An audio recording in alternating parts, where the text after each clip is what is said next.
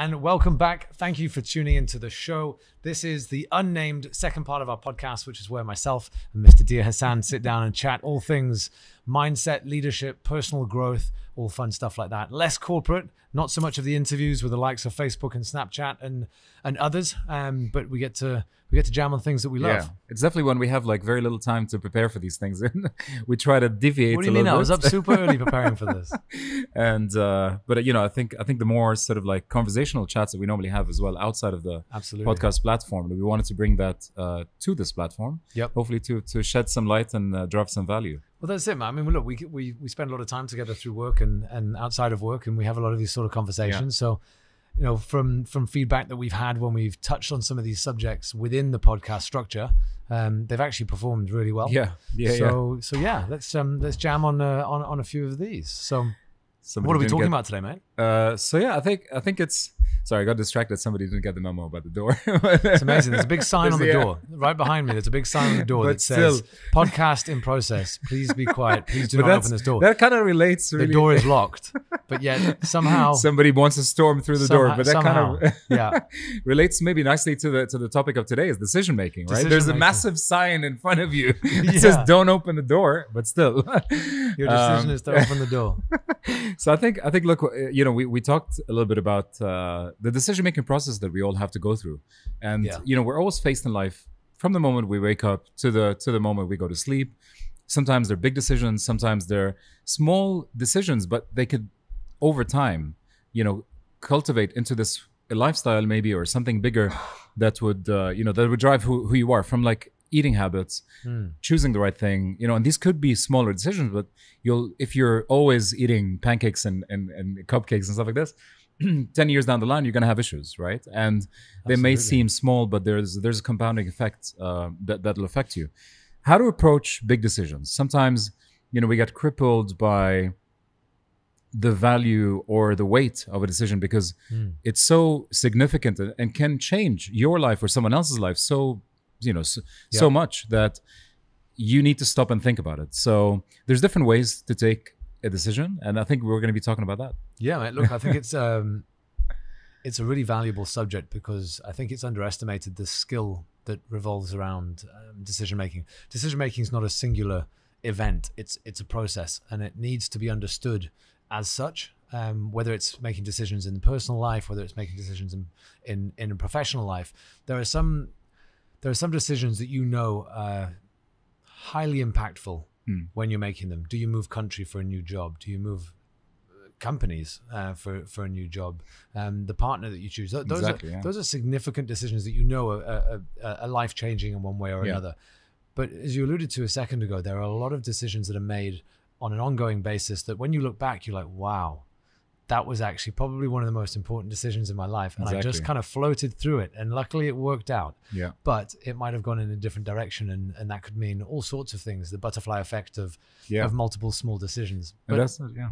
It's, um, it, it's, it's interesting how it's approached, or to be honest, from what we've seen is, is there is a lack of approach. People don't understand the process that goes into uh, making a decision from a, um, a conscious or a subconscious perspective. Mm. And I think that's the, that's what we want to get into today unpacking some of that so people can just be a little bit more aware around right i've got a big decision to make or i'm making a lot of smaller decisions but that's, i've got no yeah. process and yeah. i don't really understand what biases i have and how it's being affected and how I, I, should really be aware of that 100% i think the, the maybe the other side of the conscious behavior is i'm just going to go with the flow right? So there is a lot of people that I know, and that's a decision. And exactly, yeah. And, and understanding what that flow, where's that flow coming from? Where's mm. your gut feeling coming from?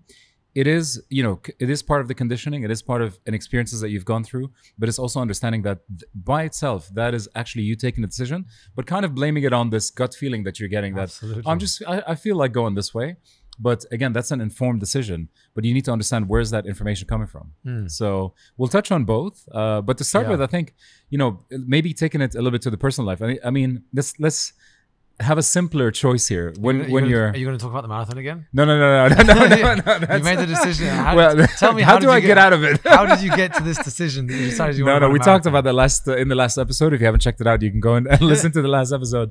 But you know, we we were chatting a little bit about this when your mind wants you to think in a certain way. Like if you're buying a new car, for example, Hmm.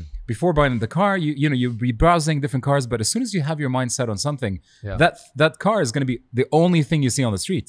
Absolutely. So like you are getting into this tunnel vision approach to the decision that in a way that you want to make in, Yeah. in life. So there's and and we were you know chatting about when you're gathering information.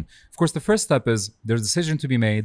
We need to understand and identify that cool like there's a choice that you have to make in a certain situation in life. yeah. Second stage would be gathering information. Absolutely. Um, but how do you gather information? Hmm. Is it biased? Is it not biased? And what's your thoughts on that? Like, Well, look, I, I think the the first point that you said there, it's about it's identifying that there's a decision to be made, and sometimes, quite often, you see people shying away from that, and it goes back to your point about, oh, we'll go with the flow. Let's see how life works out. Let's just kind of, let's just play this out and see what happens. And you're putting one foot into the area of victim mindset there because you're basically you're you're stepping away from taking ownership of the outcome yeah, and you're just going to kind of see how things play Yeah, out, and, then- out, and then you can blame somebody else or something else Or the for way that- situation, or the situation because yeah. because you know that it wasn't you that made the decision in order to go left or to go right. So there's there's it it starts from the beginning, right? You have to identify that there is a decision to be made.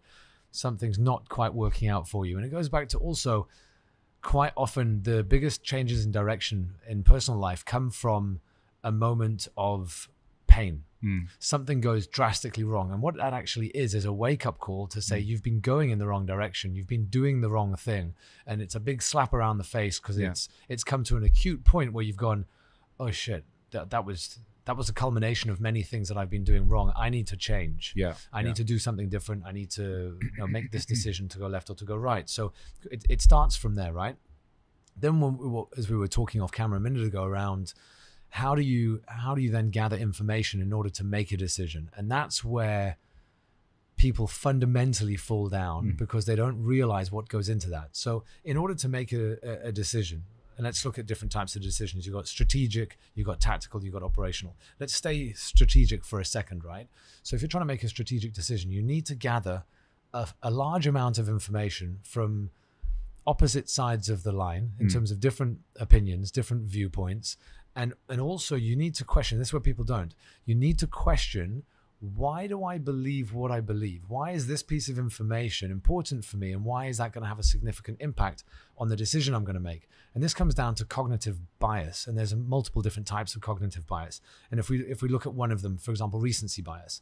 Now, if I give you a piece of information today and then you're asked about that subject tomorrow, you're going to put more value on that piece of information that you learned from me today than Yeah. something you learned three or four weeks ago, just because it's recent. And Yeah. that's like within how our minds work, how we're built, this recency bias shows up all the time. Like you, you know, you read a headline in the newspaper, all of a sudden that's what you believe. Yeah. And that's what you then go and oh, did you see this? Did you see Yeah, that? Yeah. It might be completely contradictory to something that you learned two, three weeks Yeah. ago, but because you've just read it, you now believe it's more. It, it holds More more, weight, more more, more, more value, right? Yeah. So there are many of these things. Um, anchoring bias is another one, which is the flip side of it. Yeah. The very first piece of information you learn about a subject before you then Yeah.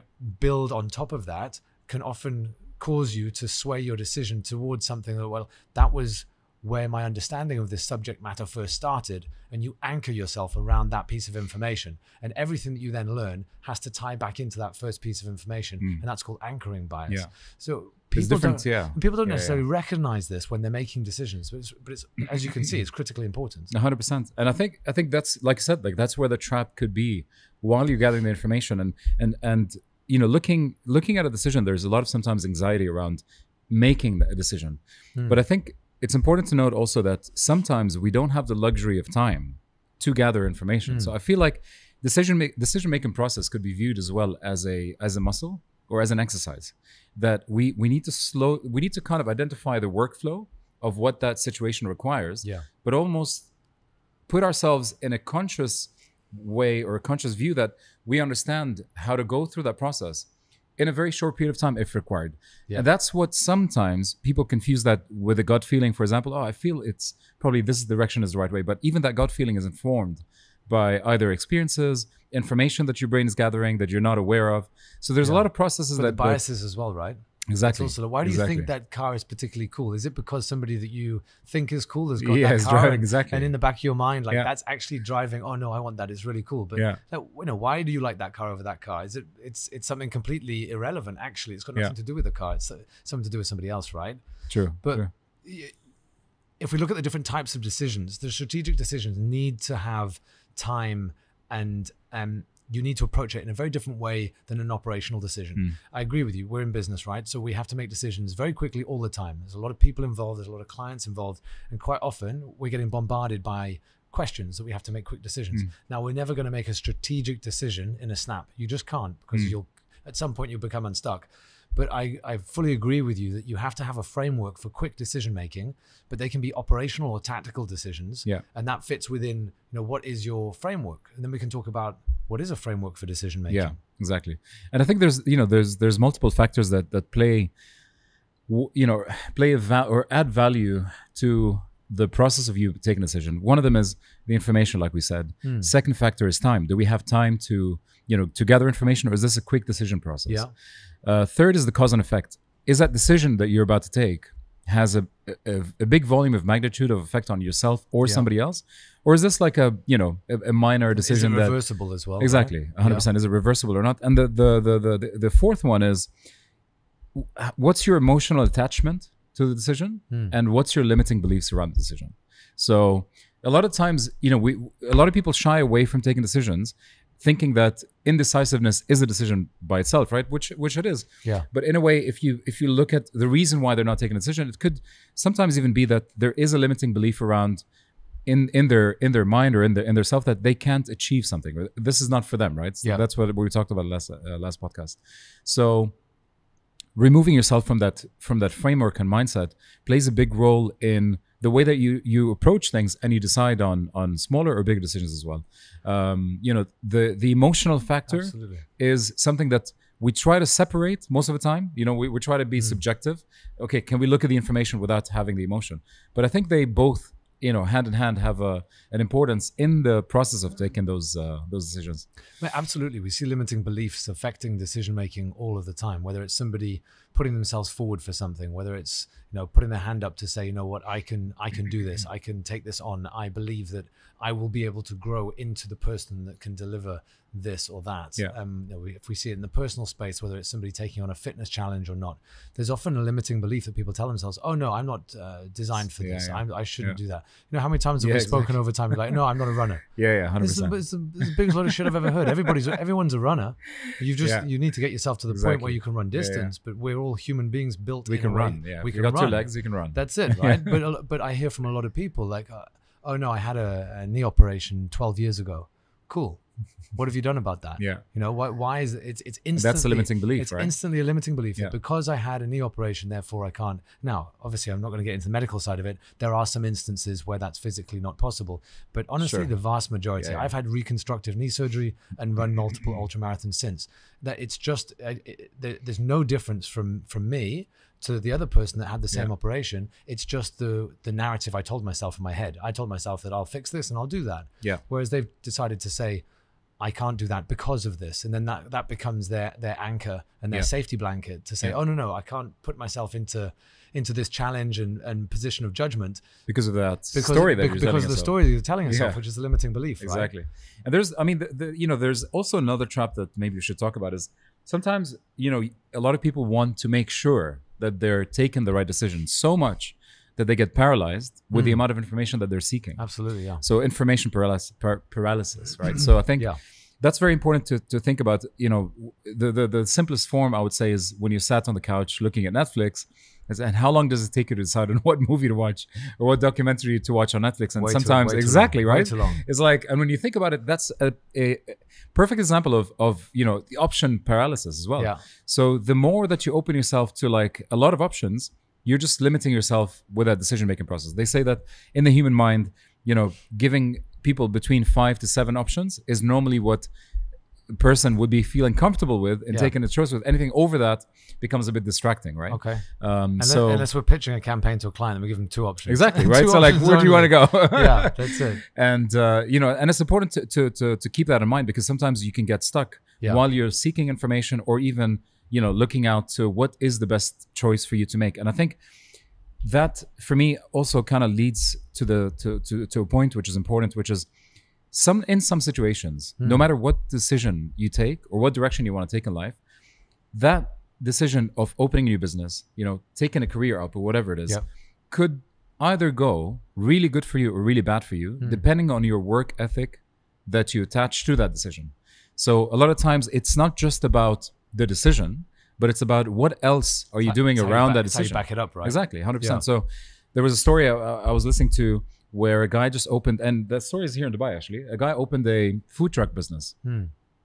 before before the Corona lockdown, and um, you know he he invested about seven hundred thousand dirhams in it, opened like three different uh, branches, and set up a menu, and you know he he was kind of pushing it, but he did he wasn't involved in day to day, and that business wasn't really doing well after a few years and, and about a million dirhams in losses, he decided to sell the business to a new owner. Uh, of course, around Corona time, you know, he was limiting yeah. his he was limiting his losses. Sold it probably for around 300k, and thought, cool, I've limited my losses. Now I sold the business to somebody else. A year down the line, he went back to see those trucks and see how things are going. He was a bit curious, like, is this mm. business really doing well or not? And realized that the same businesses, of course, locations change a little bit, but now there's a massive line in front of these trucks and business yeah. is booming. Yeah. He got one of his cousins to call that new owner to see if the business is again for sale. He's like, "Look, I've I've been offered it multiple times, but I'm not selling it." He sold that business for 300,000 and yeah. the new owner is like, "I've just been offered 3 million wow. uh, for the same business I'm not willing to sell." So it's not about the idea or the decision of, of starting the business. It's about what's happening around that whether you, cho- whether you choose to make exactly. it work or not. And and and uh, that's going to be the, the defining factor of whether this decision is going to be successful or not, right? So that's very important to to to it, think about as well. You're right; it's really powerful, and people often think that the decision is the final point. Once the decision is made, then it's the starting point. Then, then, then yeah. it, it is the starting point, right? And often people think once that decision is made, then it's either going this way or it's going this way. No, you then have to make that happen in yeah. one way or another, right? And I think one of the things that we haven't touched on yet is is understanding look, there's a process of, uh, of decision making, and there's, as we said, there's confirmation biases, there's cognitive biases that that feed into the building blocks of how we make those decisions. But a decision le- needs to lead you somewhere, and if you haven't figured out where that somewhere is, then it's very difficult to make a decision because you don't know if you're getting closer to True. the destination, the goal, whatever it is. You know, in in a, in a personal life, it can be a um, it, it, can be a goal that we set ourselves. In your case, you know, we, are discussing the marathon, yeah, yeah, or it could be somebody uh, having a, a career plan or whatever it might be. But once you've defined that, then it's that is that that is a framework for decision making because you, you basically say to yourself does it get me closer to my goal or does it not get me closer yeah. to my goal and therefore you can make some faster decisions certainly on an operational and tactical level you can make faster decisions because you know where you're trying to exactly. go if you haven't exactly. figured that out it's very difficult it's true in the business sense as the work that we've been doing is building out a mission statement if you've got a vision and mission statement for your company again even strategically to a, to a to an extent yeah. when we're making decisions yeah. big decisions we look at that We've done, lot, we've done we've done a lot of work to get to that yeah. point. Does it get us closer to that vision, or does it align with our mission statement and the reason mm. for being in, mm. in business? And if it's a no, it's quite an easy decision. We don't even have to speak about it because we both know it's a no yeah. because we've decided yeah, that that's the direction we're going in.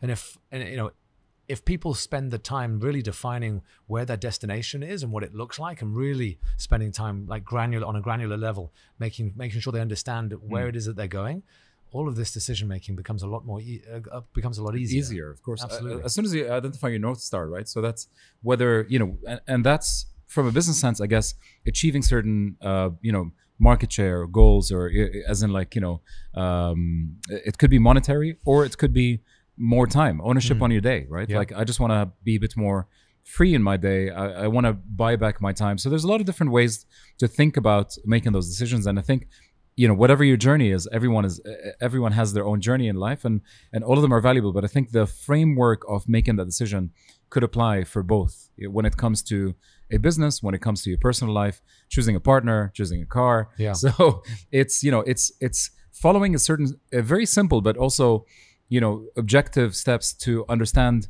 how much information can you gather is it neutral type of information yes how objective Are, is that exactly information right? and and and you know is there an emotional factor that's playing a role in your decision making uh, process yes or no um, you know and is that decision reversible yeah and that's i guess that that that's a key one because if it's not then it's definitely worth stopping and, and thinking about that decision a little Yeah. bit longer. Yeah. But if it is reversible, and I'm guilty of that, I like to maybe sometimes dive nose deep, like stress. like, was, Yeah. Is this nose deep?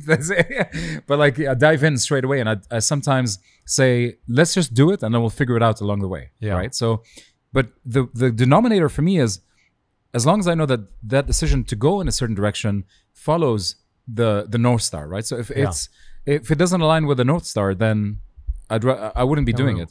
But if it does align with the north star, and I feel that our ducks is not in a row, Yeah. I'll say no, fuck it, let's do it, Yeah. and then we'll figure shit out on the way. Yeah. So But it's- also the it's understanding what's the damage that can be done if it goes wrong. And quite often Yeah. with those smaller decisions or those operational decisions, that, like there's not that much damage. The, the the if it went south on you, Yeah. you can still Yeah. claw that back. It's not going to cost too much money, too much time, too much Mm. resource. Um, Richard Branson talks a lot about protecting the downside. So when he's making decisions, it's like, right, well, there's always going to be an element of risk with a decision when decision making. However, if you look at the downside, what are the what are the things that could go wrong if if I get this completely wrong? Yeah. Um, what's the damage that's caused? Is it reversible? And is it something that I can accept? And as long as each decision you make, you've understood what that downside is, Yeah. and not just being blinded by the opportunity. And that can be quite yeah, let's say enticing. It can be Yeah, yeah. enticing, right? You're like, Yeah. oh wow, this opportunity is incredible, and I can do this, and I might achieve this, and blah blah blah blah blah. But if it goes south on you, it's catastrophic. Yeah. You can't make that decision. Yeah. So protecting the downside um, is yeah is critically important as well. Hundred percent, hundred percent. Um, yeah, I think I think in in general that kind of like sums up, you know, the uh, the the process and the Yeah. workflow. I think of uh, There's actually one more area that that's it's actually a it's a bit 180 to what we've been talking about, but it's something I heard on a podcast from um, from Stephen in the UK. Uh, I think it was the Diary of a CEO, his uh, his podcast, and, and Yeah. he's put it in his book as well, which talks about the ability to quit, and he talks about um, people have this idea that once you start something, you absolutely have to finish it, right? Which is something that we're we're taught. It's a socially acceptable kind of way of thinking that you, know, you start something, you've got to you you've got to see it through and, and deliver it, Yeah. and et cetera, et cetera, Yeah, et yeah. cetera.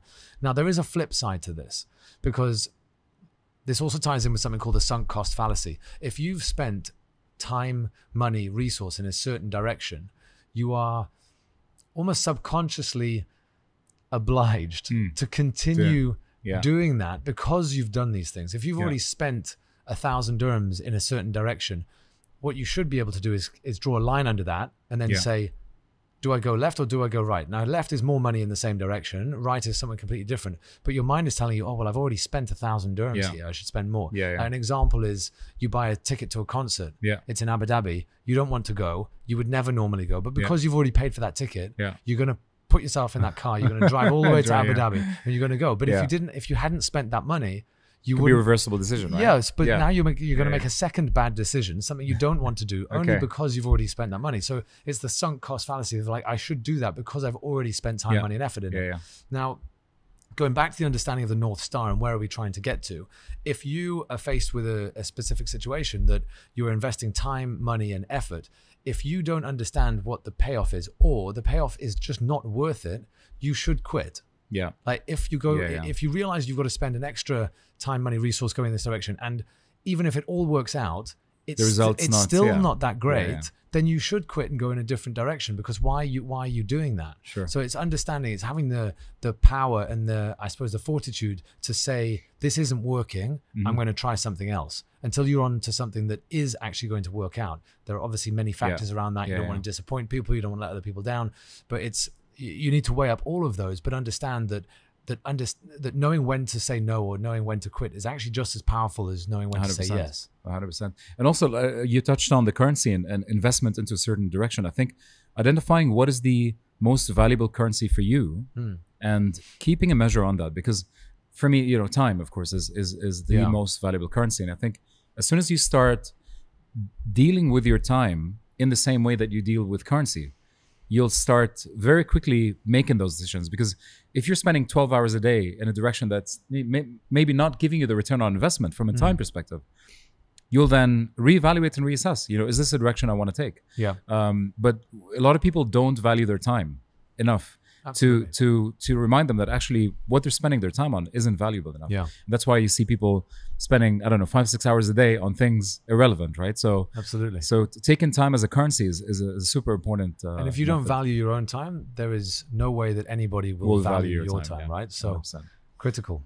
Mate, that was super cool. I really enjoyed that. I hope we added some value. Thank you very much for for tuning in and, and for listening uh, on a what are we today? Wednesday morning. Um, I hope you got something from that. The guys are going to chop it up, put it out across channels. Uh, please do let us know. You know, drop some comments um, on the podcast. Drop some comments on any of the content that you're seeing across social. We really do appreciate it. Any ideas around what you would like us to talk about, or even if you, want to join on the podcast, if you want to come on yeah, the show, yeah. just um, you know, if you want to join us, then let us know. You can come in and have a coffee with us in the studio, and it would be cool to see you. So thank you so much for listening. Appreciate it.